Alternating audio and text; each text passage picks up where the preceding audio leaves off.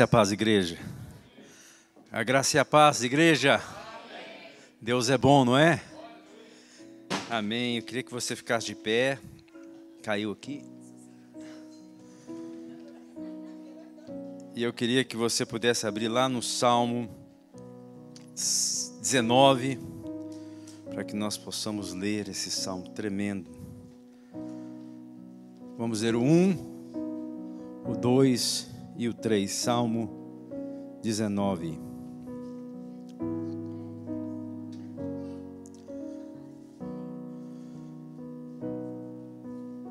Amém? Quem não tem Bíblia está aí para que nós possamos ler juntos. Salmo 19 diz assim: Os céus faz o que, igreja? Proclamam a glória de Deus, e o firmamento anuncia as obras das suas mãos. Um dia discursa outro dia, e uma noite revela conhecimento a outra noite. Não há linguagem, nem há palavras, e deles não se ouve nenhum som. Continua? No entanto, por toda a terra se faz ouvir a sua voz, e as suas palavras até os confins do mundo. Aleluia, igreja! Aí se pôs o sol a uma tenda, é, aí pôs uma tenda para o sol. Amém? Vamos orar, pedir ao Senhor que possa falar conosco. Eu creio que o Senhor vai falar conosco nessa noite. Ele tem boca e ele fala. Pai, eu louvo ao Senhor pela tua palavra. Eu louvo ao Senhor pelos irmãos que estão aqui, pelos irmãos que nos assistem na internet. Eu louvo ao Senhor por cada família, cada vida, cada um que o Senhor permitiu estar aqui conosco e cada palavra, Senhor, que procede da boca do Senhor traz vida para nós. E nós te pedimos que o Senhor possa sim falar conosco nessa noite. Nós precisamos ouvir aquilo que o Senhor tem para nós. Nos dá, Senhor, um coração ensinável, eu te peço. Um coração compreensivo, um coração que se dobra, um coração que se prostra à vontade do Todo-Poderoso. Em nome do Senhor Jesus Cristo é que nós oramos. Amém. Amém. Você pode se assentar. É, eu, né, o Senhor falou muito comigo nesse texto e, sem dúvida, o Senhor, a forma que o Senhor rege o mundo, a forma que o Senhor trata assuntos específicos é através da Sua palavra. Amém? Você crê assim? A palavra do Senhor diz assim, lá no João capítulo 1, versículo 1: No princípio era o Verbo, o Verbo estava com Deus e o Verbo era Deus. Está falando do Verbo, está falando da palavra, está falando do Senhor Jesus, da palavra encarnada. No texto lá de João capítulo 8, onde ele tem uma argumentação com aqueles judeus que haviam crido nele, ele traz algo muito importante que ele fala sobre a palavra dele. Ele fala assim: ó, e disse Jesus aos judeus que haviam crido nele: se vocês permanecerem firmes na minha palavra, verdadeiramente serão meus discípulos. Está lá em João capítulo 8, versículo 31. Mais um pouquinho na frente, com os mesmos judeus, ele houve uma grande discussão ele trouxe algumas verdades fortes a esses homens, mas no final ele fala assim: Eu asseguro, eu dou certeza para vocês, se alguém obedecer, se algum de vós obedecer a minha palavra, jamais verá a morte, a morte eterna. Então ele firma todas as coisas no poder da sua palavra.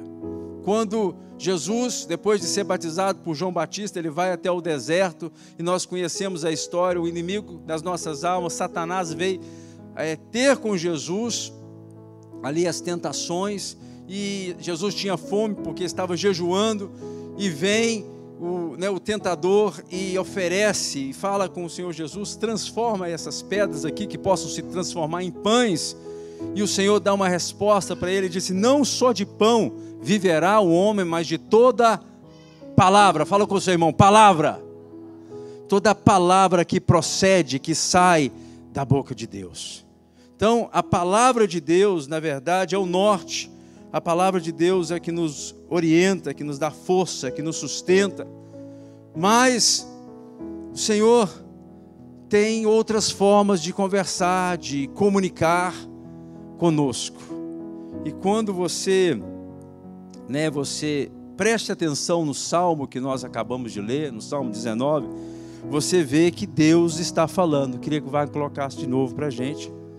Deus está falando, talvez sem palavras, sem som, mas Ele está comunicando conosco, Ele está falando conosco.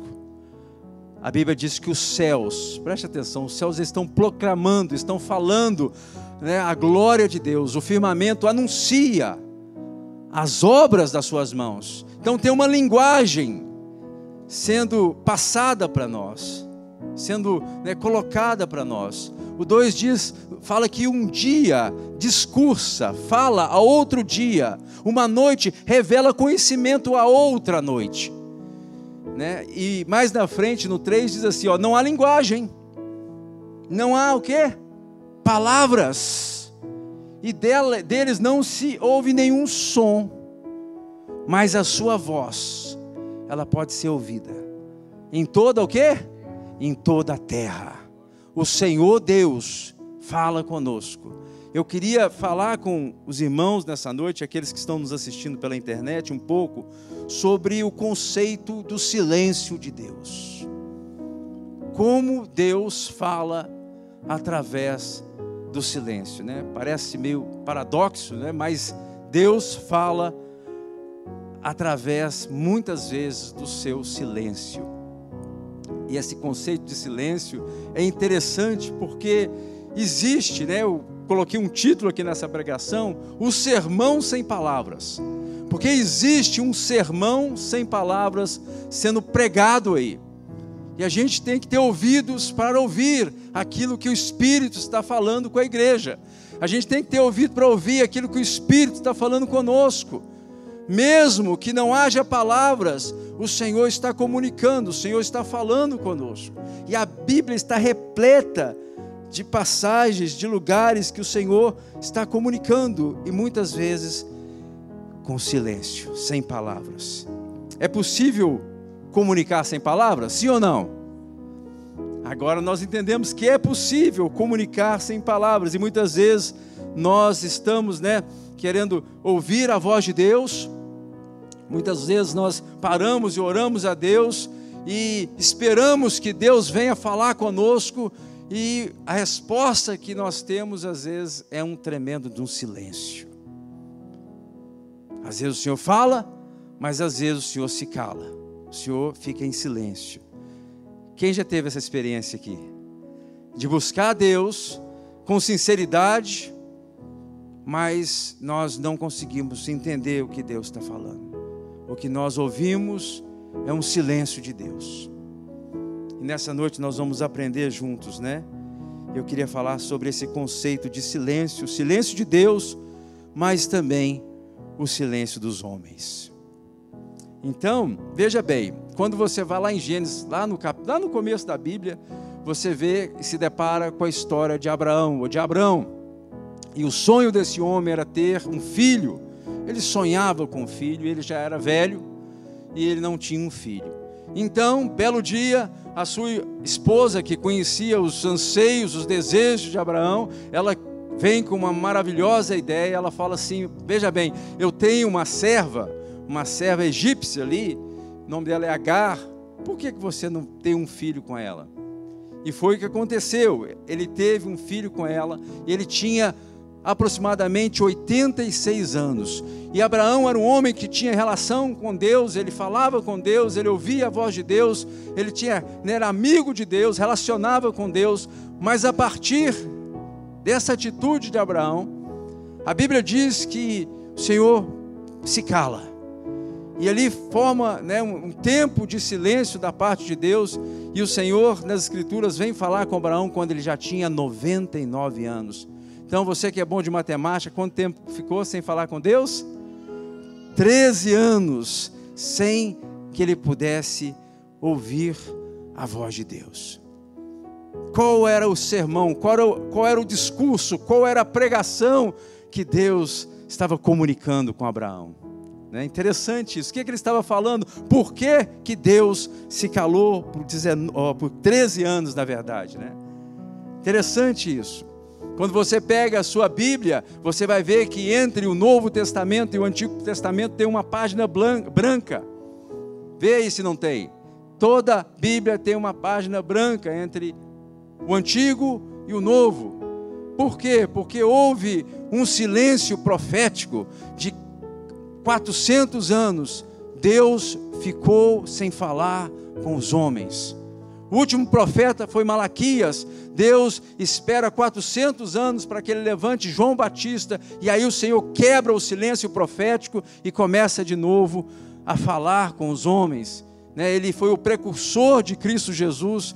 E a pergunta é qual era o sermão, o que, que Deus estava falando com os homens através desse silêncio de 400 anos. Interessante isso, né? Quando nós paramos para meditar, é, um, é algo assim muito, muito é, profundo. Quando você vê Jesus caminhando ali nas páginas das Escrituras, e tem algumas ocasiões que Jesus se cala. Se lembra quando ele estava andando para Tiro e Sidom, e de repente aparece uma mulher cananeia, e essa mulher estava com uma dificuldade, ela estava com algo muito sério acontecendo na família dela. E ela se aproxima do Senhor Jesus e começa a clamar, ela começa a pedir e ela grita: é, Jesus, né, filho de Davi, tem compaixão de mim. E quando ela se aproxima de Jesus, ela fala: Eu tenho uma filhinha, e essa filhinha ela está horrivelmente endemoniada, ela está possessa. Só que a Bíblia diz que o Senhor não responde ela palavra nenhuma. Ele fica em silêncio. E ela insiste, e ela insiste, e os discípulos já começam a ficar nervosos, bravos ali, querendo que ela fosse embora. E ela insiste a falar e pedir ao Senhor naquela aflição, e ele fala assim: Não, eu, eu vim primeiro para a casa de Israel, eu não vim para vocês ainda. Não foi para vocês ainda, não, o tempo, o tempo não foi chegado e depois ele, ela, ele faz, ele usa uma expressão pesada com ela, mas isso não, né, não tira ela do foco que ela tinha ali, que era ver a cura, a restauração, a libertação da sua filha, até que ela insiste. Aí o Senhor fala com ela: Grande mulher é a tua fé.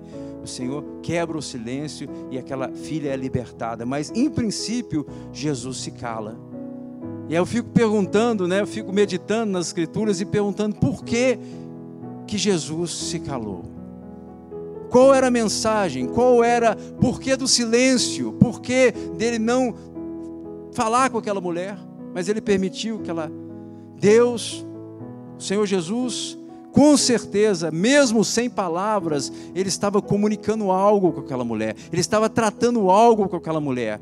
E muitas vezes nós temos que entender isso. O silêncio de Deus sempre, sempre é um silêncio proposital sempre Ele está tratando alguma coisa na minha vida ou na sua vida. Deus, o Deus que nós servimos, Ele não faz nada, absolutamente nada, sem propósito. E nós temos que perguntar e ter o nosso coração aberto para saber de fato o que Deus está falando quando Ele se cala, quando há um silêncio, quando nós não conseguimos ouvir a voz de Deus. Quando Jesus foi entregue nas mãos dos pecadores, a Bíblia diz lá em Marcos capítulo 15, que logo pela manhã os fariseus, os escribas, os, eles levaram ele na presença de Pilatos.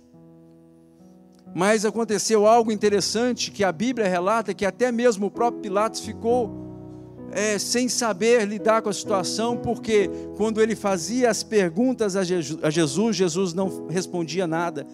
E diz assim: ele fala assim: Você não vê as acusações que estão aí te acusando? E Jesus, porém, não respondeu palavra alguma, ao ponto do próprio Pôncio Pilatos ficar admirado da posição e da postura de Jesus. Por que, que Jesus se calou? Por que, que Deus né, comunica conosco quando Ele não nos fala, quando Ele não nos dá uma palavra específica a respeito de alguma coisa? Mas uma coisa que nós temos que ter certeza e convicção que Deus está falando. Talvez sem palavras, talvez sem som, mas com certeza Deus está comunicando algo conosco, porque Deus não faz nada, absolutamente nada, sem propósito naquilo que faz. Você crê assim? Amém? Glória a Deus. Sabemos que Deus ele, ele comunica muitas vezes e, e, não usa palavras. Agora a pergunta: o que que Deus está nos ensinando? O que que Deus quer nos ensinar? Muitas vezes Deus quer nos ensinar a esperar. Não sei se você, talvez é como eu, nós queremos as coisas para ontem. E Deus, Ele quer tratar isso em nós. A Bíblia diz lá em Eclesiastes que tudo tem o seu tempo e seu tempo determinado, né, para todo o propósito debaixo da terra. E muitas vezes nós queremos as coisas para ontem. E Deus tem sim que nos ensinar, esperar o tempo de Deus naquilo que nós estamos fazendo, naquilo que nós anelamos, naquilo que nós queremos. E nós né, temos uma tremenda dificuldade com isso, mas Deus, Ele nos, Ele nos coloca para que nós possamos aprender a reconhecer o tempo de Deus. Deus também, eu creio que Ele se cala muitas vezes, Ele fica em silêncio para que nós possamos aprender a confiar em Deus. Não é verdade? Se Ele falasse conosco todo o tempo, se Ele nos orientasse em tudo que nós vamos fazer, nós nem precisaríamos de fé, pois Deus já tinha tudo organizado e a gente somente seguiria aquilo que Deus está fazendo e acontecendo, né? Mas como é necessário que haja fé. A Bíblia fala que sem fé é impossível agradar a Deus. E Deus fala conosco que nós temos, e Ele tem a palavra dele para nos orientar. Só que tem hora que nós precisamos né, de uma orientação, de uma direção de Deus, e o que nós ouvimos é um silêncio. E isso, às vezes, sim, trabalha o nosso, nosso coração e nós aprendemos a ter que confiar em Deus. Eu, de, eu creio que quando Deus se cala, quando Deus fica em silêncio, Ele também nos ensina a perseverar. Porque nós temos uma tendência a começar as coisas e não terminar. Nós temos uma tendência a, a, a desistir no decorrer do caminho. Quando a situação começa a ficar mais difícil, quando a situação começa a ficar, né, exigir de nós mais perseverança, somos tendenciosos a querer deixar isso para lá e começar algo novo e fazer diferente. E quando Deus ele se cala, nós temos que confiar nele, nós não temos outra outra possibilidade. Isso nos ensina sim perseverança, nos ensina a confiar em Deus que que nós comunicamos quando quando nós calamos? É o que eu queria também trabalhar, porque nós entendemos pela Bíblia aquilo que Deus como Deus age, que Deus se cala, mas mesmo assim ele nos ensina. Mas a pergunta fica, quando nós nos calamos, o que que nós estamos comunicando? Eu não sei se você passa com você algumas vezes, né? De você não querer falar com ninguém, de você querer ficar calado, de você querer ficar calada, né? As, as irmãs é mais difícil, né? Mas às vezes a gente fala assim, eu não vou falar absolutamente nada, vou ficar calado. O que é que nós comunicamos, né, quando nós fechamos os nossos lábios, quando nós ficamos calados? E isso é interessante porque gente, mesmo que os nossos lábios possam estar fechados, eu quero te dizer que nós sempre estamos falando alguma coisa. Mesmo que nós não tenhamos né, falando palavras audíveis, o nosso coração fala, a nossa alma grita. E tem dois tipos né, de silêncio que eu queria que nós pudéssemos entender isso. Se você entender isso, com certeza isso vai ser benefício na sua caminhada daqui até o dia de Cristo Jesus. Por quê? Porque tem um silêncio, tem um silêncio que é benigno, que é bom, que é agradável para nós. Mas tem um silêncio que não é bom. Nem todo silêncio é bom. Né? A Bíblia diz lá em Tiago que o Senhor ele, ele, ele nos deu, ele fala para que a gente possa ouvir, né? Ele fala para que a gente possa é, ser tardio para é, para falar, mas que a gente possa ser para a gente possa ouvir a palavra dele. Então, e que a gente seja tardio em irar. Mas muitas vezes nós falamos muito e ouvimos pouco. Então tem hora que a gente tem que se calar mesmo, quando a gente de fato é confrontado, quando nós somos corrigidos, a vontade que nós temos é de berrar, a vontade que nós temos é de, de explicar, a vontade que nós temos é de, né, de trazer explicações, argumentações sem fim. Mas às vezes nós precisamos de aprender a ser sábios e aprender a nos calar. Mas às vezes temos dificuldade com isso e nós não usamos essa ferramenta poderosa que é o silêncio para que nós possamos vencer batalhas na nossa vida. Nunca, com certeza já passou com vocês, já passou comigo, que você fala assim: eu não deveria ter falado isso. Falei demais, eu deveria ter ficado em silêncio, mas depois que a palavra saiu dos lábios, saiu, já não tem mais jeito. Então, o silêncio, na verdade, é poderoso para as nossas vidas, mas às vezes nós temos a dificuldade de fazer isso. Quando nós nos calamos, nós podemos nos calar de duas formas. Ou nos calamos inspirados pelo Espírito Santo, ou nos calamos por causa da nossa alma. E eu quero explicar esses dois tipos de silêncio para vocês nessa noite. Quando nós nos calamos, quando nós somos inspirados pelo Espírito Santo, nós vamos ter vitória. Por quê?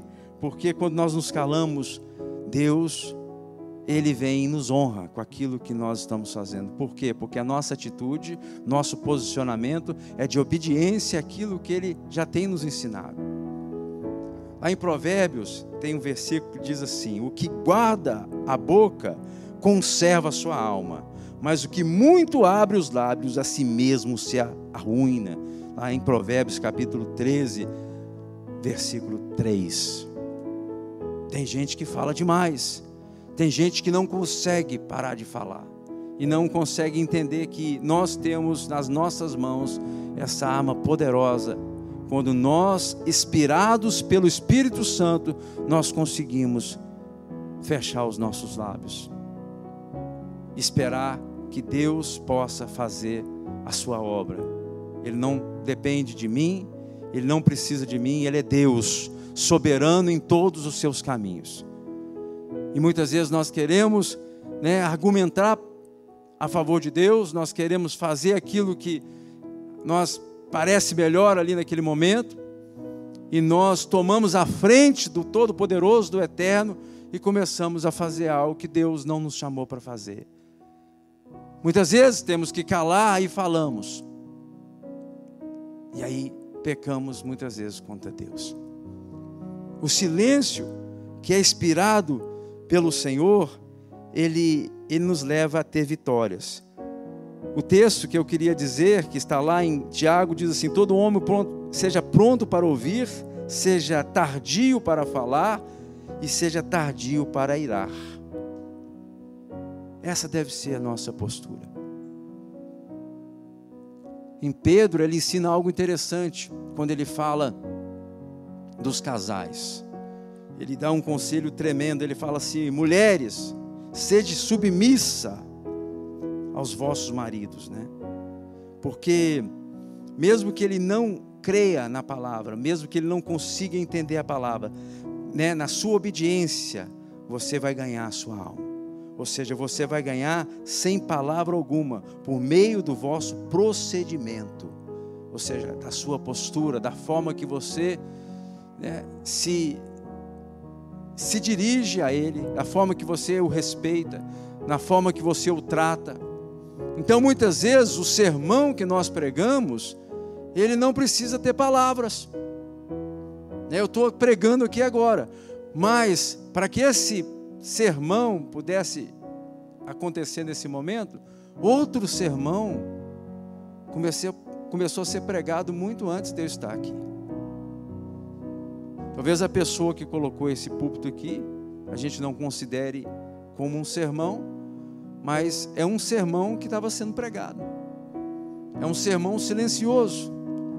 As pessoas que prepararam esse altar aqui, eles talvez não usaram palavras para fazer isso, mas eles estavam trazendo na presença do Senhor um sermão silencioso. Algo que estava subindo diante do Senhor. As pessoas que vieram aqui antes e ligaram o ar-condicionado para que você estivesse confortável na sua poltrona, as pessoas que vieram aqui antes e colocaram as cadeiras nos seus devidos lugares para que você pudesse ter a separação e também tivesse o conforto para que pudesse ouvir a palavra de Deus, eles também, juntamente comigo e juntamente com todos que estiveram aqui antes, eles estão pregando um sermão. E talvez o sermão dessas pessoas seja muito mais agradável a Deus do que o meu. Nós temos a capacidade e nós valorizamos aquilo que é visto, aquilo que é notório, mas o Senhor, o nosso Deus que nós servimos, Ele vê o que está acontecendo, mesmo que não tenha palavras, porque Deus nosso Deus que nós servimos, Ele não vê somente aquilo que sai dos nossos lábios. Ele sabe das motivações que vão por trás. Ele sabe por que, que nós estamos fazendo. O sermão que nós pregamos é a nossa vida. Né? Pergunta para o seu irmão aí, como é que está o sermão da sua vida? Você que está sentado aí no sofá na sua casa, nos assistindo agora pela internet, Pergunta aí para esse irmão que está do seu lado, para essa irmã, como é que está o sermão da sua vida. Nós estamos pregando. Nós estamos, talvez seja um sermão silencioso para os homens, sim, mas ele é ouvido nos céus. O Senhor está ouvindo, o Senhor está percebendo. E esse tipo de silêncio é o silêncio que é de fato inspirado por Deus, que é agradável a Deus, é o silêncio que nos leva à vitória. Mas existe outro silêncio que os homens têm usado. É o silêncio que ele é o silêncio direcionado pela alma. Se o silêncio que é inspirado pelo Espírito Santo é poderoso para nos dar vitória, esse silêncio que é gerado, inspirado pela alma, ele é perigoso. E ele é, não é só perigoso, ele é devastador. Ele pode nos matar. Se um traz vida, outro traz morte. Se um nos leva para perto de Deus, outro nos leva para longe de Deus. Se um aumenta a nossa comunhão, porque nós estamos conectados com o Espírito Santo, outro aumenta o peso, porque é um silêncio que traz morte, que não gera vida. E eu queria dar alguns exemplos para vocês na palavra do Senhor. Vocês conhecem a história Davi, como Davi pecou com Bathsheba e se calou. Betseba, ele se calou, ele se fechou na sua, no seu mundinho ali e não quis falar com ninguém. Na verdade, ninguém sabia daquilo que estava acontecendo por detrás dos bastidores. Né? Ele, sabia, ele sabia que pouquíssimos se deram conta daquilo que tinha acontecido. Então ele ficou calado, ele não falou com ninguém, mas ele dá o testemunho do que passou com ele, o tempo que ele se calou. Está lá no Salmo 32, diz assim: Enquanto me calei, os meus e os meus, os meus pecados envelheceram os meus ossos pelos meus constantes gemidos todo dia, porque a tua mão pesava dia e noite sobre mim, e o meu vigor se tornou em sequidão. O meu vigor, a minha força, o meu desejo, a minha, a minha disposição se tornaram em sequidão, ou seja, ele não conseguia fazer as coisas mais. Por quê? Porque ele pecou e se calou. Então, esse silêncio, que muitas vezes é gerado pela alma, ele traz morte, ele faz com que as pessoas vivam em um tempo de sequidão, num deserto espiritual. Por quê? Porque eles não estão conseguindo né, soltar a voz, eles não estão conseguindo colocar para fora aquilo que está acontecendo por dentro. Por dentro está um turbilhão, as coisas estão acontecendo, mas a boca não fala.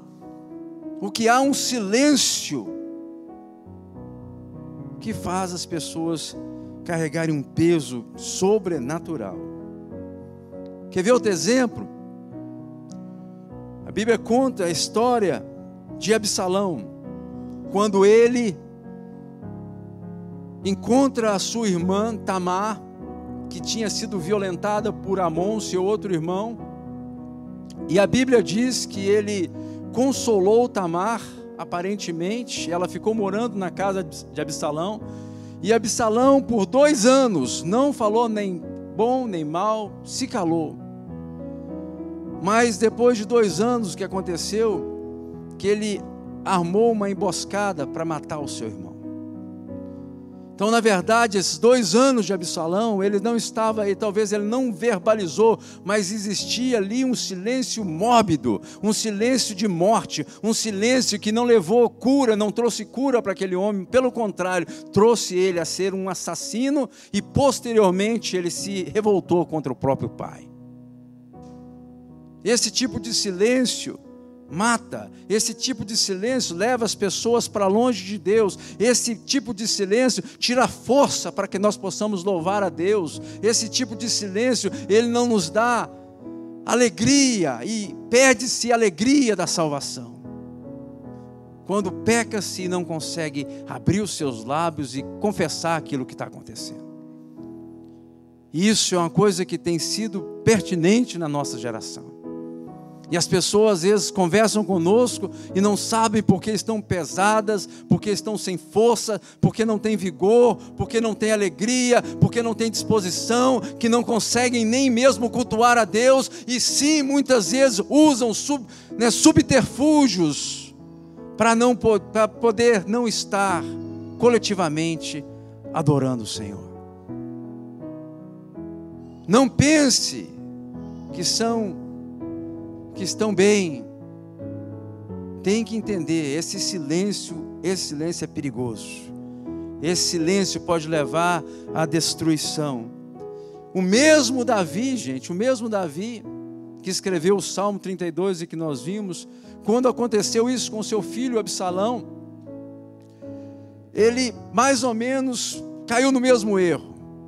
Porque Absalão veio ficou um tempo afastado, mas depois ele volta e fica em Jerusalém.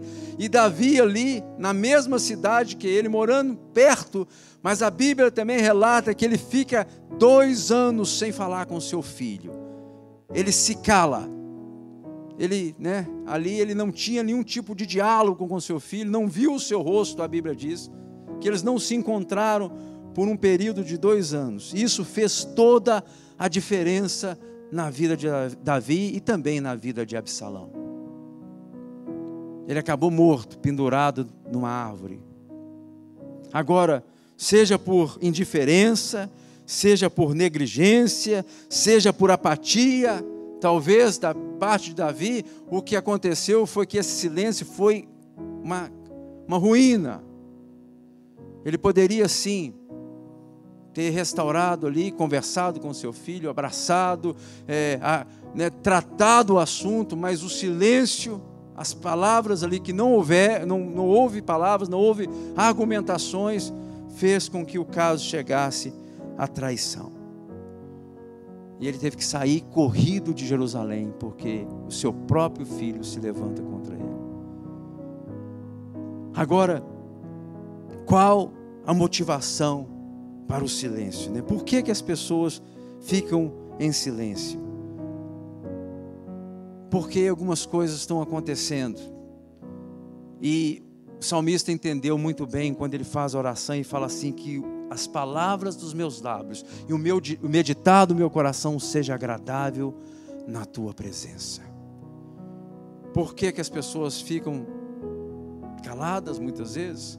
Porque elas não entenderam que o silêncio, se ele não for um silêncio inspirado pela pessoa do Espírito Santo, se for um silêncio da alma, um silêncio mórbido, isso vai chegar a morte. E as pessoas não vão conseguir, de fato, o favor do Senhor. É sério isso. Deus, Ele fala através do silêncio. Mas nós também falamos. Há uma mensagem por trás. Há uma, há uma comunicação por trás do silêncio. Quando nós vemos algumas coisas, quando nós sabemos de algumas coisas, quando nós entendemos algumas coisas, até mesmo a respeito de nós mesmos, e nós não nos dispomos a fazer aquilo que Deus já tem nos ensinado na Sua palavra, nós nos calamos, nós omitimos e nós né, achamos que somos espirituais o suficiente para poder lidar com as situações. E a gente pensa assim: ah, isso é normal, isso é comum. Amanhã eu esqueci. E a gente vai se calando, a gente vai se fechando, a gente vai é, se colocando numa situação que ninguém está sabendo da nossa vida, vem a vergonha por cima disso tudo para que a pessoa fique mais, ainda mais isolada. E final das contas, você vê uma pessoa que aparentemente, fisicamente, está tudo bem com ela, mas espiritualmente ela está morta ela está, não está conseguindo caminhar mais, não está conseguindo mais né, andar com Deus e tampouco está conseguindo andar com os irmãos. Por quê? Porque há um silêncio mórbido, há um sermão que está sendo pregado aí, mas só que esse sermão não está chegando bem diante dos olhos de Deus. Porque nós pregamos não somente com as palavras, mas também com as nossas atitudes com as coisas que nós fazemos, com as coisas que nós né, estamos envolvidas, com aquilo que é prioritário na minha vida, com aquilo que me faz, de fato, sair do meu acomodismo, da minha rotina. Nós pregamos diariamente. Nós estamos pregando um sermão diariamente. E a gente tem que saber de fato se, que tipo de sermão que nós estamos pregando. Pastor, mas eu nunca preguei. Você sempre pregou, irmão. Sempre pregou. Está pregando todo dia. Sua vida é um sermão. Sua história é um sermão. E o que é que está acontecendo? Está sendo agradável? Esse sermão está subindo diante de Deus, mesmo que não tenha palavras, mas as suas posturas, a forma que você lida com, as, com os valores, nós estamos pregando, nós estamos falando, nós estamos comunicando algo. E a gente tem que entender o que, que está sendo, o que, que está sendo comunicado. Em nome de Jesus, preste atenção nisso. Deus leva a sério o silêncio. Deus fala através do silêncio. Tem uma passagem nas Escrituras que me chama a atenção. Apocalipse capítulo 8, depois você lê. O céu se para. Todas as coisas param de acontecer no céu. E a Bíblia diz que há um silêncio por meia hora.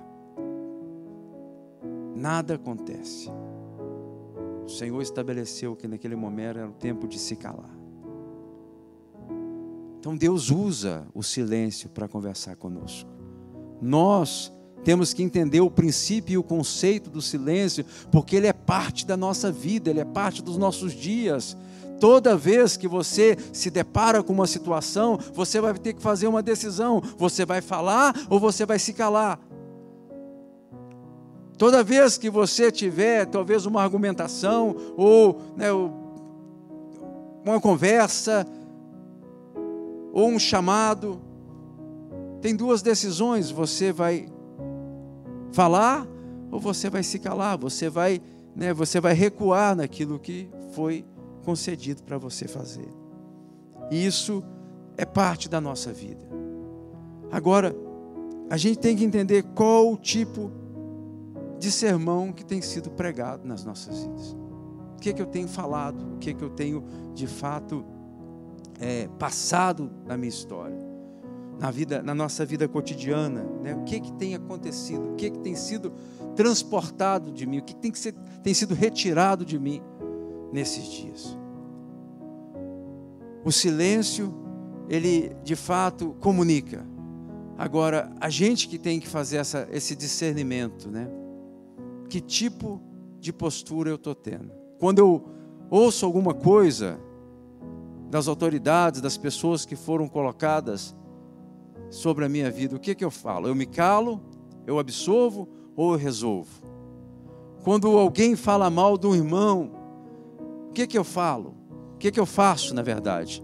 Eu me calo, eu trago aquilo, eu absolvo aquilo, ou eu resolvo? Quando eu recebo de, da parte de Deus um chamado, algo para que algo seja feito, em benefício do reino de Deus, em benefício de pessoas, qual é a minha atitude, qual é o meu procedimento, qual o sermão que eu prego? Isso tem que ser pensado, gente. Isso tem que ser pensado, porque isso é parte da nossa vida. Se a gente não entender isso, que tem hora, a Bíblia fala em Eclesiastes que tem tempo para todo o propósito debaixo da terra. Tem tempo de falar e tempo de se calar. Se a gente trocar, inverter os negócios, dá choque. Já, já aconteceu com você? Pega os fios assim, você vai. Você acha que esse é aqui. Aí você assim. Dá um estouro, dá um estouro assim. Errei, falhou. E assim acontece na nossa vida. Tem hora que a gente tem que falar, e tem hora que a gente tem que se calar. Mas o calar sempre deve ser inspirado pela pessoa do Espírito Santo. Nunca deve ser uma inclinação da minha alma porque a minha alma ela vai me conduzir a um silêncio mórbido. A minha alma vai me conduzir a um silêncio que vai me levar para longe de Deus, e vai me levar para um lugar que vai ressecar os meus ossos, e eu não vou ter força mais para caminhar. Existe, sim, da parte de Deus, algo que nós podemos fazer. A Bíblia fala: se confessares os vossos pecados, Ele é fiel e justo então, confessar fala de botar para fora. Confessar fala de abrir os nossos lábios. Confessar fala de falar daquilo que muitas vezes está me atrapalhando, daquilo que muitas vezes está me impedindo, daquilo que muitas vezes está trazendo peso, uma carga que não procede de Deus. A carga do Senhor ela é leve e suave. Se é uma carga pesada demais que eu não estou conseguindo, está difícil, é porque está carregando coisa que Deus não te chamou para carregar. Isso tudo cai por terra quando nós conseguimos abrir os nossos lábios e quebrar esse silêncio da alma que muitas vezes nos oprime. É um segredo para você, para minha vida. Se a gente errar nisso, a gente vai começar a trocar, né? a gente vai começar a viver uma vida miserável. Mas se a gente aprende esse princípio, a gente consegue se silenciar na, na hora que tem que se calar, e a gente consegue de fato abrir os nossos lábios na hora que nós temos que falar, não direcionado pela alma, mas direcionado pelo Espírito Santo, nós nos tornaremos de pessoas saudáveis e nós vamos conseguir ser, sim, prósperos na presença de Deus. Nós vamos conseguir fluir na presença do Senhor. Mas nós temos que aprender esse princípio: hora de falar e hora de calar.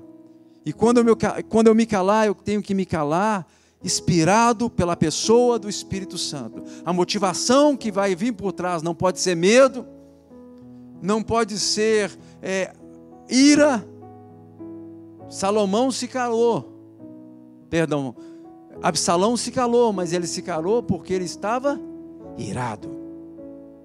Ele só estava esperando a oportunidade perfeita para que ele pudesse fazer justiça com as suas próprias mãos. E com certeza, esse, esse se calar, esse silêncio, isso foi terrível na vida daquele jovem.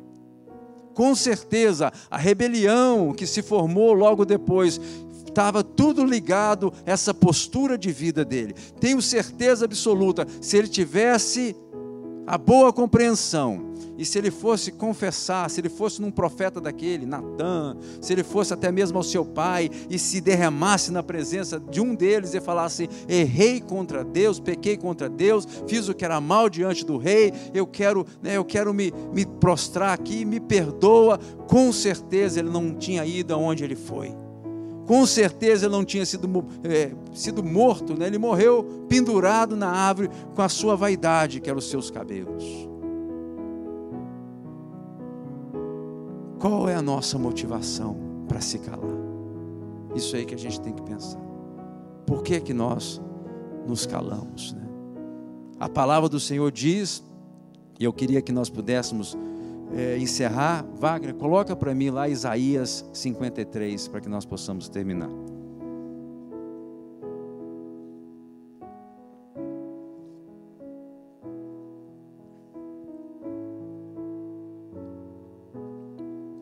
A palavra do Senhor diz assim: Quem creu na nossa pregação? E quem foi revelado o braço do Senhor? Falando de Jesus, igreja. Porque foi subindo como renovo perante ele, como uma raiz, como raiz de uma terra seca. Falando, Senhor, não tinha aparência, nem formosura. Olhando, mas nenhuma beleza havia que nos agradasse. Ah, ele era desprezado e o mais rejeitado entre os homens homem de dores, de que, que sabe o que é padecer, e como um de quem os homens escondem o rosto, era desprezado e dele não fizemos caso. Certamente ele tomou sobre si as nossas enfermidades e as nossas dores levou sobre si, e nós o reputamos por aflito, ferido de Deus e oprimido. Passa mas ele foi traspassado pelas nossas transgressões, moído pelas nossas iniquidades, o castigo que nos traz a paz estava sobre ele, e pelas suas pisaduras fomos, ok, igreja? Todos nós andávamos desgarrados como ovelhas, cada um se desviava pelo caminho, mas o Senhor fez cair sobre ele a iniquidade de todos, de nós todos ele foi oprimido e humilhado. Preste atenção. Mas o que aconteceu com ele? Mas ele não abriu a boca. Como o cordeiro foi levado para o matadouro, e como ovelha muda perante os seus tosqueadores. Ele não abriu a boca. Vamos ficar de pé em nome de Jesus.